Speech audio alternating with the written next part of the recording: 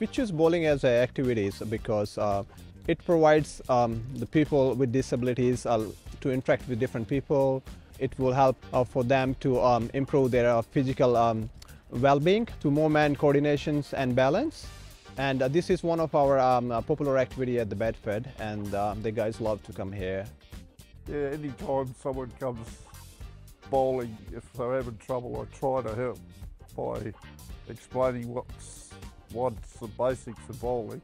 You get two hands like this, ankle like that, over like this. Yes, it was fun to go bowling. I got one spare one, two spare one, three spare one. For like the first time in 35 years, I can just be me and happy.